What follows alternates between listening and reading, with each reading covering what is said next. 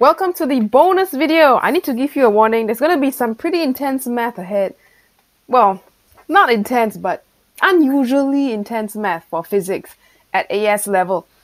So previously I mentioned two facts about maximum power. If you have a resistor in a circuit where you can change the resistance like this, oh my goodness, like a potentiometer, okay, you can change your resistance. That's why I got the arrow there. Okay. And if you can do that, you will notice a very strange pattern. You will achieve maximum power dissipated by this resistor. Come out when the when your R value here is the same as your R value inside the battery, the internal resistance. So when your circuit R equals to internal R, then you will have maximum power. And that's what the graph roughly looks like this. Increase to a maximum and then it will decrease some more when you change the R up and down. But why is that? Let's go through this step by step. First things first, you want to find the power dissipated by the resistor or the load, the circuit resistance, whatever you want to call it. Uh, we need to think of the general formula. Okay, so general formula for power you have P equals to IV, right?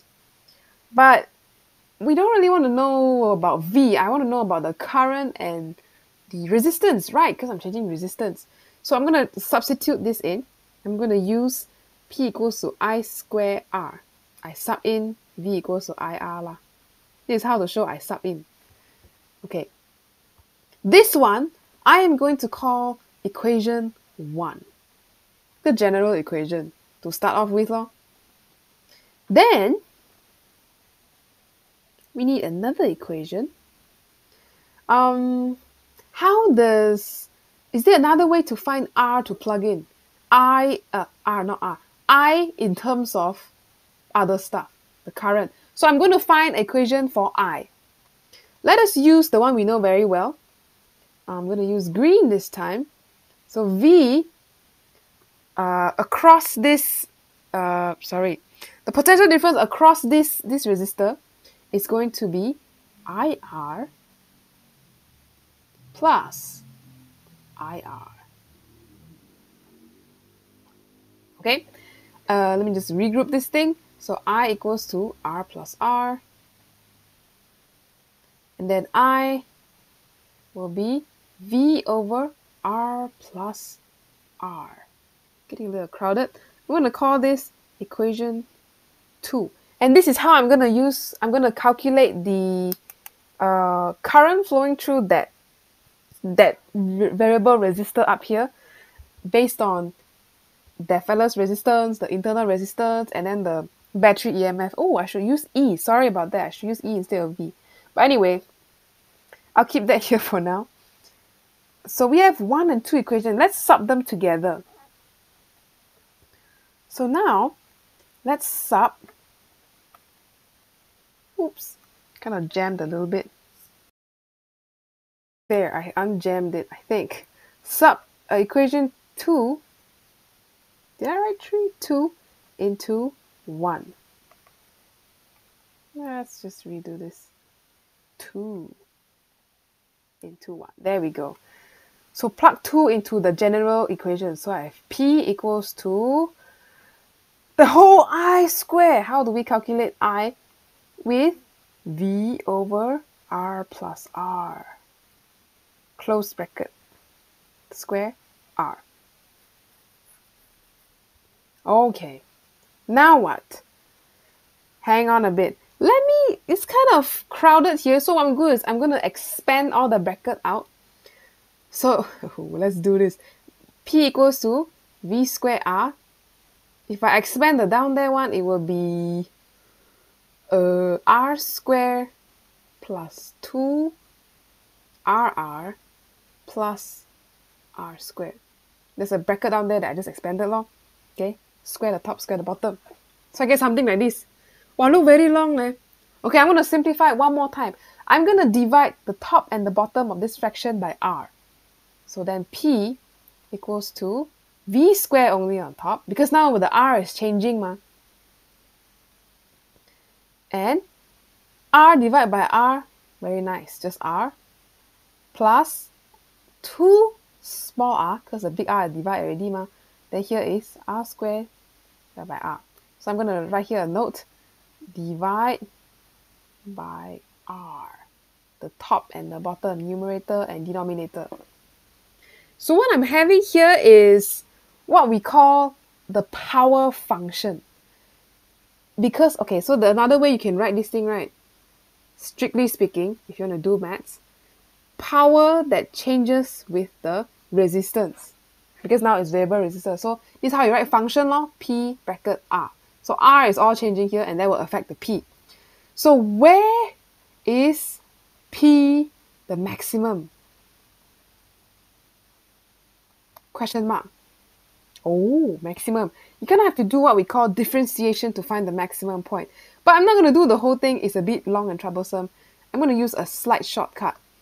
Okay, for the P to be maximum, this bottom part has to be minimum.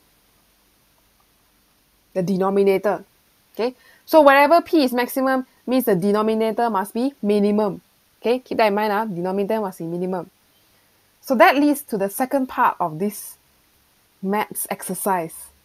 So for P to be max, your denominator must be minimum. So denominator was what again just now? Um, I'm going to write it out. R plus 2R plus R square over R is minimum. And how do you do that? Now this now is less fraction lah, so easier to differentiate. If not late, just now you look, uh, got R, so many R down there, very, very 麻烦, very tiring to differentiate so many things. So this is a shortcut. Now we only need to find where this thing is minimum. So I'm going to differentiate this. Oops, d by dx. That's how I write it out. And then, eh, why I keep on clicking this, nothing changed. r plus 2r plus r squared over r. Not d by dx, sorry. d by dr. Now you change color. Ah, lama, what is this? d by dr. There we go. There you go, now in the correct color. So the purpose why I just did the d by dr is because I want to find the minimum point for this thing. What is the r value when it's minimum? So when it's a minimum or maximum, this will be a 0. So the differentiate this part, it should equal to 0. Okay, at the max or min point now. So at max or min. Okay, we want it to be minimum. So how do you differentiate this thing? Um, differentiate r, you get 1.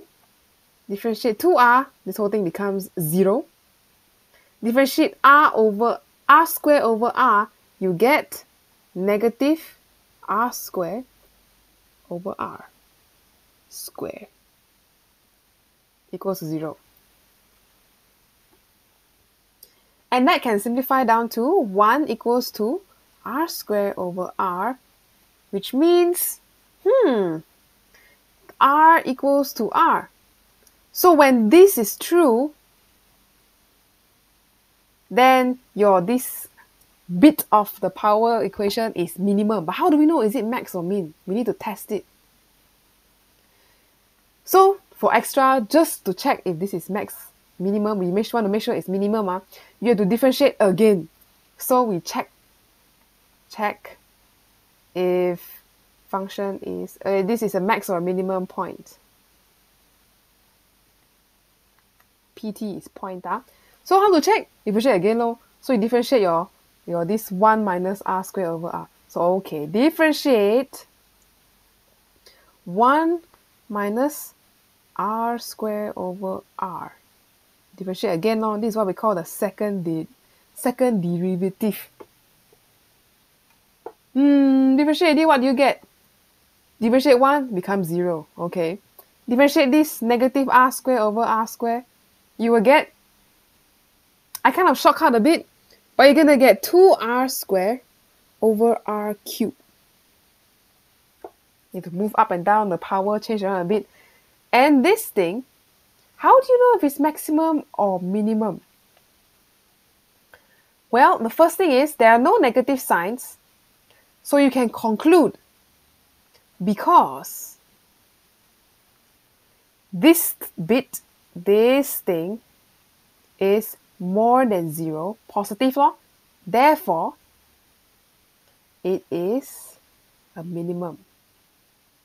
So this denominator is a minimum when r equals r, which means, therefore, your final final conclusion, this one, therefore, p is maximum at r equals to r.